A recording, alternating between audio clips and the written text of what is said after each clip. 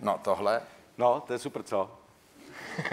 No všechny jsou super. No, no. no, co k ní říct? To je fotografie, s kterou jsem já nesouhlasil. Nesouhlasil. Že, mm, že jsem si říkal, že to e, není ono.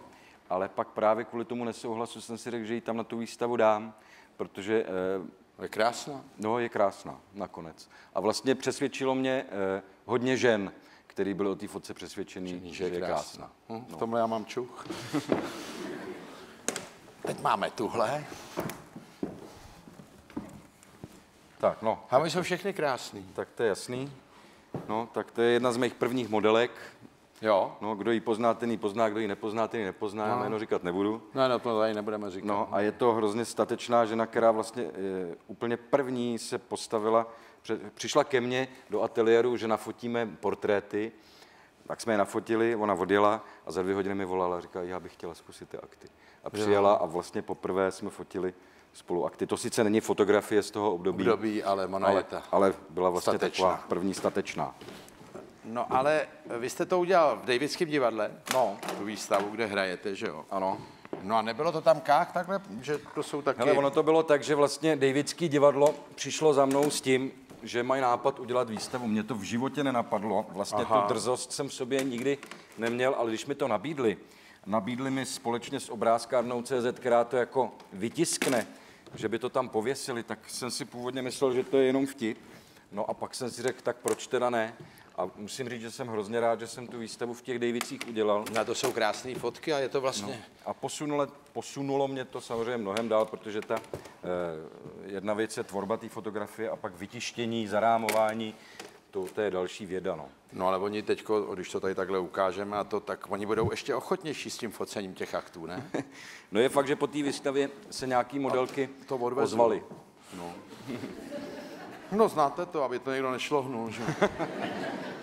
Ne, ale teďka budou ještě ochotnější, protože to budete za chvíli mistr aktu a oni budou říkat pišně, já dělám jenom s čermákem. Jasně, no, tak eh, ono, no, to je, to je na dlouhou debatu, která sem nepatří, si myslím.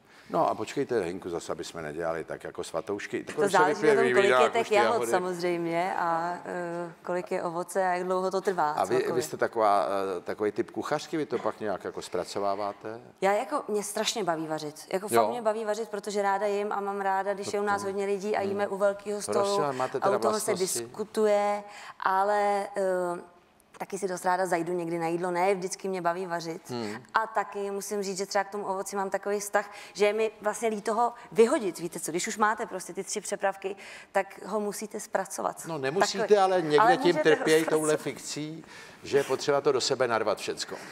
Ne, to, já- to já to do sebe samozřejmě nenarvu hned, že jo, já si to jakoby dám do- rozložíte v čase. A do tohle, že mrazáku. ráda vaříte, to znamená, vy vaříte nějaký komplikovaný jídla? Ne, většinou spíš jednodušší. Jo. No. Jako já totiž mám, ráda jim, ale zase úplně na tom nechci trávit spousta času. No, no právě, no. Takže prostě dáte maso na tři hodiny do trouby a můžete jít skládat písničku. Tak. Jo, a když vás to skládání začne bavit, E, tak, e, maso za chvíli přijde tak samo. řeknu, brouku, Jsem hotový. ne, řeknu, e, Romane, mohl bys to maso vytáhnout z Jo, trouby? takhle, Romane, mohl bys to maso No. vytáhnout? Aha. On má nějaký čas pro sebe během dne? Tak on taky hodně jezdí po koncertech, takže on si ten čas pro sebe užije. Jo, on vlastně relaxuje prostě- tím, že vy mu dáváte dobrý příkazy. Eh, takhle to úplně bych ne, neřekla. Ne. Jakoby, já, víte co, vy byste tady měl pozvat asi mýho manžela, protože mně přijde, že spousta dotazů vlastně by bylo spíš na něj. Já Ne, si, tak mě to zajímá z Jo. vašeho pohledu. No ne, já si myslím, že je spokojený právě. Ne, tak eh, já jsem tady snad neslyšel ženu, že by řekla, můj manžel je se mnou nespokojený. Ale já tomu No, věřím. ale já si myslím, že vám říkám pravdu. Ne, já tomu No, věřím, já tomu věřím. No a v, tý, v tom skládání písniček se ta změna taky nějak projevila? Je to, je to takový venkovštější teď, to, co děláte? No ta deska vznikla na přelomu toho stěhování. Vlastně ty témata jsou tam jako manželství, mateřství, jídlo u stolu s rodinou. Uh, takže, tak, takže to celé vznikalo, ten proces jako vznikal z těch emocí, které jsem zažívala během toho stěhování a uh, u toho jídla, který jsem jedla a uh, během toho, jak jsem svoji dceru měla v náruči a prostě přesně všechny ty momenty, které se děly za ty tři roky, jsem tam vsunula. Sunula. Proto se to Včetně taky... vaření, masa, prostě všechno. Vy Tam zdůrazňujete to vaření masa jako takovou komplikovanou činnost. No. Ne, protože, protože to je věc, která vlastně trvá nějakou dobu a vy mezi tím stihnete udělat ještě jiné věci a proto mi to připadá takový fascinující. Teď. Teď, teď to natáčíme dneska, dělo se to včera, Aha, tudíž proto se tady jako zavedla jo, tahle toho diskuze. ještě plná dojmů. Kdybychom se sešli, já nevím, na podzim, tak No, bychom tak by řešili bylo? jabka, no, třeba. A vy vykrajujete jabka? Nebo A vozíte babka nevy- od jabičky? Od babičky. Já jsem řekl od jabičky. Mě malinko hrabe z toho ovoce. Už je to tady moc ovoce, bych No, řekla. no, ne na mě je to hodně, ale Hodně eh, vy pak vykrajujete jabka? No tak když je zavařu, když třeba chcete udělat přesný dávku, tak je vykrájíte, že A jo? vy to všechno zpracováváte a kdy to pak jíte? Ale já jim Marmelády? něco syrový, já jim něco syrový, ale prostě pak jste doma, že jo, máte tam Emilku vedle a No. říkáte si tak teď, by si třeba dala přesný dávku, šp, vytáhnete, dáte do jogurtu a jedem. No, Takhle. jste taková namachrovaná z tohohle, ale... No ne, mě, jako, já furt jenom nerozumím, jako, čemu nerozumíte, víte co? Ne, tak je to zajímavé, že jo, takový, jako mně to přijde takový uh, atak ovocnej, jako uh, a těch jablek je v kolik byl přepravek? docela klid, v zimě se nedělo vůbec nic. V zimě? No, ne- v zimě přestá, no to sbíráte síly na jarní jahody a trávu, A ale, turné. ale ty jabka, to je kolik přepravek? Eh, Ježíš, jabka, no to je strašně přepravek. Ježíš Maria. Víte, kolik z toho táta třeba vypálí kalvádosu? Táta? No. A vy v tom jedete celá rodina, teda babička? Ono se to je, tak prostě vidíte, co dělají rodiče, tak to pak kolikrát děláte taky. A nebo naopak? A nebo naopak, ale zrovna tohle mi připadalo, že bych se za to nemusela stydět. Ne, to já nemyslím si, že to- že to je pracný. Ne? A tat, tatínek pálí kalvádos No. a vy to vykrajujete. No. Nebo mačkají se třešně do sudu, jo. teď to... Mačkaj se třešně do sudu. A to, jak se to ukázalo, tak mě šlo bolet celé tělo. No to já se nedivím manželovi, že nebubnuje. Ne nikdy, že jo. To, na to Mačká, nemám čas. vykusuje, vykrajuje. A u toho popíjí víno a má se skvěle. No u toho hrkne a zase mačká. A hrkne, aby zapomněl. A vy mačkáte třešně rukama? Rukama? A co toho děláte? Proto jsem si dneska musela dát tmavý lak na nechty, protože jsem měla všude jahody zatím. Za těma nechtama. A dala jste si takovou třešňovou barvu Jo, už. třešňo. Protože už to přijde, že jo. A tatínek pálí kalvádos a maminka? Tak maminka taky vykrajuje jahody. Maminka taky vykrajuje Taky, no. jahody? Ale eh, Segra taky. A, takhle, a, je u vás v rodině někdo, kdo nejde v jahodách? mm, není. Není. A to vám dělá zvláštní potěšení? Vlastně dělá, no. Jo? Jinak koupit to v obchodě trvá asi čtvrt hodiny. Já vím, no ale tak víte co, jako když víte, že to vyrostlo na té zahrádce, a tak já Jo, dojímá vás to trošku? Trošku mě to dojímá. Já Vlastně znám tyhle lidi, jak vlastně bych slzejí. to, Moje cibule.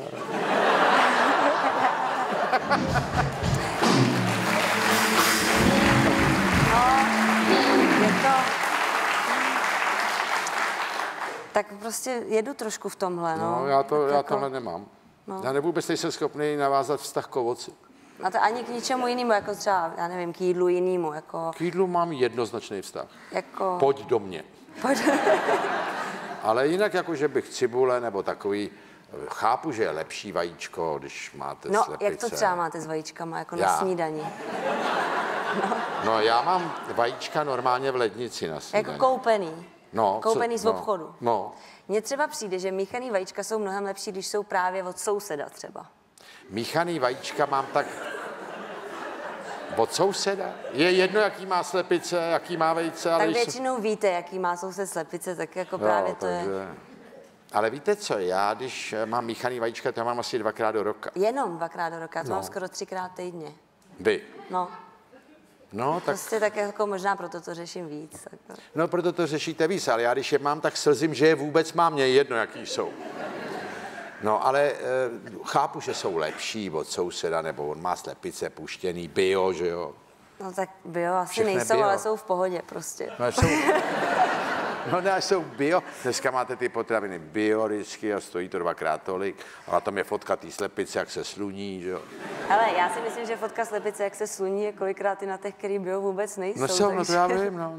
Ne, ale tak já neumím mít takhle vztah k ovoci nebo k takovýmhle mm, potravinám. Já právě tím, že mám hroznou vášeň pro konzumací jídla. No to já A taky. vlastně já jezdím třeba do zahraničí jenom proto, abych si tam šla někam najíst. Jako No to já vás chápu, ne, v tom Jo. si rozumíme úplně. Konzumovat jídlo je nádherný. No ale taky si myslím, že je to prostě znát, když to jídlo je prostě mm, dobrý. No dobrý, no. Já znám výborný restaurace třeba. No, tam určitě mají vajíčka od souseda, ne? No tam mají, hele, vajíčka, od těch se vám nezdá. No, tak vidíte, tak když jste na tom No. úplně podobně. Ne, já vím, ale vy to neumíte ani tak dobře udělat, jak to mě v těch hospodách. No to možná kolikrát ne, ale... Ne jako kolikrát, většinou. No většinou možná ne, ale jako vlastně já, uh, ale tak já si do těch hospod taky zajdu No. a pak to takový obkoukávám a pak se to snažím dělat jakože jo. trošku, trošku podobně. Já vím, no, to nebejvá ono, ale... Ne, já myslím, že to je dobrý, jako já si myslím, že vlastně je to docela dobrý, to, co generuju jakoby za, za jídlo. No, Je takhle. to takhle, já vám to řeknu. Já když uvařím, tak to není takový, že já bych si sedla ke stolu a říkala bych, teď jsem fakt dobře uvařila. To dělá můj manžel. Ten, když uvaří, No. tak si sedne ke stolu a celou tu dobu říká, dneska se mi to fakt povedlo. Já musím říct, že dneska opravdu ty brambory, já A jsem to to vy fakt dobře uvařil. něžný, já dostanu jídlo od Ivanky a ještě než nám dopustí, jak vám řekne mluv! Myslí chválit. Tak to já chci taky, to já vyžaduju, ale Roman ten si to všechno řekne sám, Sám. a vlastně si to sám pochválí. A to je lepší, než když to chce Je to mnohem lepší, protože pak čekáte prostě na nějakou Jo, a reakci, on si to pochválí sám, to je pěkný. No, to on umí. Ale eh, ne, ale mm, to, že vy se ráda najíte, tomu já výborně rozumím, ale nevím, proč kolem toho dělat takový jako No ne, pracovní protože úsilí. hele, bydlíte na vesnici, nemůžete No na si vesnici vždycky se říká, to na kraji dojít- Prahy, že? No na kraji Prahy, ale tak co já budu jezdit do centra na oběd, jako nebudu. Prostě, to prostě nejde. A proč byste jezdila až do centra na oběd? No ne, že si to musím uvařit sama, protože Jsou tam, aplikace, tam to na, tam to nefunguje, tam to nefunguje. No tak to už jste tak daleko, že tam to nefunguje. No, No, ale tak to nefunguje, jste se no. neměla stěhovat z dosahu té aplikace, Ta, že? ta, právě ta aplikace má dosah asi o mm, třeba pět kilometrů vedle, no. No, ale já Bych si musela dojet autem, namačkat dneska aplikaci, počkat si, až dojedou. No, já dneska koukám, kam mají dosah a podle toho si hledám Hledáte bydlení. No, no, no. To mě teda vůbec jako by nenapadlo, já jsem šla právě po těch bunkrech víc. Jako. Teď tady máme tohle. Hele, ono to je docela namahavý, takže já za chvíli už budu asi hotový. Maria. Tohle, to je takhle, ne? To je takhle. No. No, Si to takhle podržte, no. no. vida, to je taky Zuzka zrovna. No, Počkej, to, jak tomu nestínil. No a to je taky venku, to je na nějakém balkóně, nebo co? to je na balkóně, no. A to A je co zase... sousedí na to, když tak nemáte focení odpolední? No, to někdy, no. Člověk potkává ty lidi a oni jsou přesvědčeni, že se tam odehrává natáčení porna nebo něco takového. Je zvláštní, že to focení aktů i v dnešní době furt jako obestírá takový tajemno, že se to jako nesmí nebo co. Nebo že to je nemravný? Že to je nemravný, no, že jako se vracíme do toho filmu Dobré světlo, kdy mu tam všichni ubližovali chudákovi Jo, jo, jo. Heřmánkovi, tak i já se setkávám s takovýma věcma, ač je to můj koníček a jako nijak ty, eh, se tím neživím. Že jo? A tohle je fotka, která vznikla prostě na balkóně, jen tak, když jsem si nastavoval objektiv. Eh, Většinou ty fotky, které si dlouze připravuju, tak pak nejsou ono. Nejsou ono. No a Je ty, tam- který chytám na poslední chvíli, tak ty bývají nejlepší. No hele, teď mám tuhle. Nemusíte mluvit, mlčte si po svým. I mlčení je souhlas. To snad vám nepřišijou, ne? Že mlčení jsou. No ne, tak eh, druhá věc je, eh, jako vy, kam byste šel pracovat, když znáte takové věci, které nikdo v té zemi skoro nezná, nebo je vás pár, co to zná? No, tak jako vy s těma kolegama, kteří odcházíme, protože neodcházím sám, tak sám přemýšlím, kam půjdu pracovat. I když to jméno, to šlachta není úplně jakoby moc, moc hodný, takže nevím, kde no. se úplně upíchneme. A Já vám uvidíme, řeknu, no. kde nikde. Nikde. Díky teda. No i to bude jak před deseti lety. Dnešní večer si pak užiju. Ne, tak třeba, třeba ne, třeba se pletu, ale podívejte, tam je třeba důležitá věc. Vy jste tam rozpracovali spoustu věcí, No. protože najednou přišla teda uh, tahle ta iniciativa s tou reorganizací. A oni nás ujišťují, že nebude zasaženo do živých kaus, což říká Chovanec, ten už zase tloustne, a uh, ministr vnitra. Jo. A já jsem někde četl, že těch kaus je 400. To není jenom u nás, to je, to je i na tom Dohymu, takže ne, Dohromady. to je dohromady, to je, to je takový pelma. A můžete mě vysvětlit, jak se to udělá, aby se do nich nezasáhlo, když se mění ty lidi? No, To by měl asi vysvětlit ten, kdo v tom bude Ne, pokračovat. od něj to nechci. No já právě proto, protože já, já vím, že to ovlivní a proto jdu pryč. A Já tak, jsem mohl zůstat. Já ale no. do, dostanete se na hajanu a pak už si řeknete, že za tu hajanu a konec. Když ten stát jakoby ne, tak, tak ne. a tak vysvětlete mi to jinak. Dejme tomu, že já budu nově angažovaný, váš podřízený, To, to jako za starých časů. A převezmu kauzu nějakou. No tak já to musím nastudovat, ne? Podklady. No, tak nejenom nastudovat, tam jsou zdroje, jsou tam informační, které nemůžete navázat, to je, ale hlavně, hlavně o co jde, tak jde o to, že ty lidi to nevnímají jako, že to je dobře. A jestli v těch, eh, v těch hlavách těch lidí probudíte, že to nebyl, eh, že ta dobrá reorganizace, jak říkáte vy, jak je podávaná, jestli ta dobrá reorganizace není úplně dobrá, tak potom ti lidi v těch hlavách mají, že si řeknou, a on to byl možná test, teď ten ředitel jakoby to odejde, protože ten policista je taky člověk samozřejmě, a řeknou si, proč bychom to dělali a jestli je dobře tam zasahovat, protože sami si vzpomenete, říkáte před deseti lety, ale já jsem na ten útvar nastoupil, kdy lidi nebo ti policisté, kteří jsme nabíjali, tak eh, se nedívali do takových kauz, do tak zásadních a rozsáhlých. A bojím se toho, a to je moje vnitřní, že se to může vrátit zpátky. No ale vy jste byl vlastně jmenovaný Ivanem Langrem kdysi. Já jsem a byl byl jste podezřelý, když jste byl jmenovaný ministrem Langrem, že Bůh ví, co budete dělat. Pak se pamatuju, že vám vyčítali, že furt děláte bordely, herny, hazardy. No tak vy jste si trošku vyšlápli a pak se stal problém, jak jste si vyšlápli?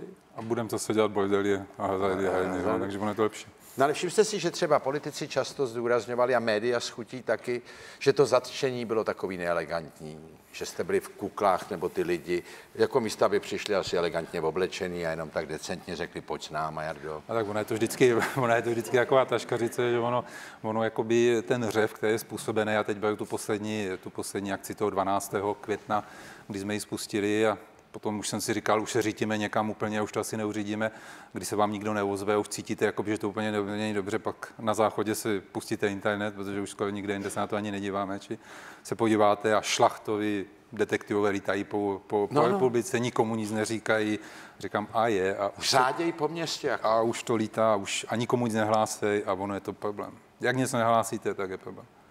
No, ale tak eh, to svým způsobem vlastně umožnil premiér Nečas, že zrušil, že se nemuselo hlásit, co vyšetřujete, ne? No, to bylo trošku jinak, ale za jakoby, jakoby vždycky je to na tom řediteli, jestli tu informaci někam posune nebo neposune, já jsem nikam neposunul.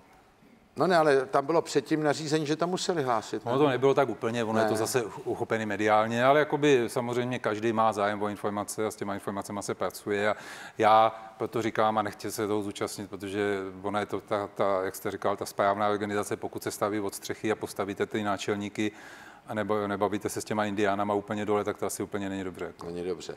No, ale ještě mě řekněte, eh, co, jaký dojem na vás dělali média? Já měl pocit, že často ty média ohromně schutí popisovaly vlastně ty vaše zákroky a zásahy jako takový zlovolný řádění, který nemá oporu v zákoně a že teda jste zvlčilá parta, která zatýká, kde si zamane.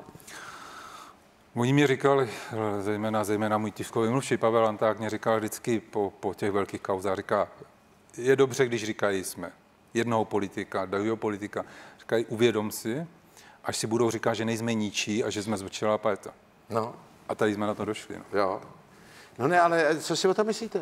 Tak to dělají média, když to dělají politici, to i chápu, ty můžou mít nervy z toho, co na ně odhalíte, ale média. Tak s médiami je to velmi složitý. Já si myslím, že s nima se, já mám vůbec některý, některé ty bulvární časopisy jsou moji oblíbenci, já jsem zvědavý, o kom budou psát, když, když tam možná vyzbídete ještě, já už ne teda. Do se Teď jsem se... No, ale tak já vám tady ukážu, co jsem si poznamenal. No ale, no tak ale je to smutný. Já, přijde mě to jako mrhání eh, ohromným potenciálem. Eh, vlastně, jako když už mluví pořád o těch penězích, tak tohle přijde podle mě na hrozný peníze. No zaprvé na peníze, ale hlavně ty lidské zdroje jsou naprosto, naprosto šílené. Tam, tam jsou tak fantastiční lidi, kteří se proškolovali, prostě dělali a ztrácí, ztrácí jakoby smysl v tom, v tom, že to bude fungovat, že to bude To dělat. chápu, ano. Já jsem, já to říkám pořád, pokud chcete něco dělat, tak musíte dělat údajné týmy, musíte, musíte fungovat, nikomu nic nehlásit, pak něco chytnete. Jinak tak chytnete chřipku možná, to je tak jediný. Jakoby. A vy jste taky řekl, že jako budete když tak spolupracovat s tou parlamentní komisí. Už jsem teď četl, že je ustavená, že, že budeme spolupracovat. To můžete, to je tak jediný, co tam uděláte. Nikdy Mlčím je- trošku pravda, že v Open Card nebo v čem malinko něco zjist. A jinak jako Já nikdy si nic. myslím, že to je hlavně o tom čase, že prostě, že to bylo, že to bylo prostě ten čas, aby A jsme... u některých věcí stačí narušit ten čas přece a zastaví se to. To je hrozně, hrozně velkou pravdu, jste řekl, ona i ta organizace, nejsou vidět ty dopady, které to má do těch lidí. A to je, vždycky, když se něco organizuje, tak to stojí za. Počkejte, ale vy jste kdysi měla jako dekoraci právě při těch koncertech pokojíček, že jo? Jo. A to se vás drží nějak, že byste si ho teď udělala teda v té Maringoce? Já si teď užívám to, že mám pokojíčky jakoby doma. No, a tak už to na scéně tolik A nepotřebujete. pak teda v té Maringoce a na scénu už to úplně netahám. Jednak kolikrát víte co, přijeli jsme z koncertu a teď ten pokojíček taháte třeba do třetího patra bez výtahu. Jo. jo a teď třeba, když máte čtyři koncerty týdně, tak prostě Ho nenávidíte. asi pak pak připadáte jak stěhovák. Fakt,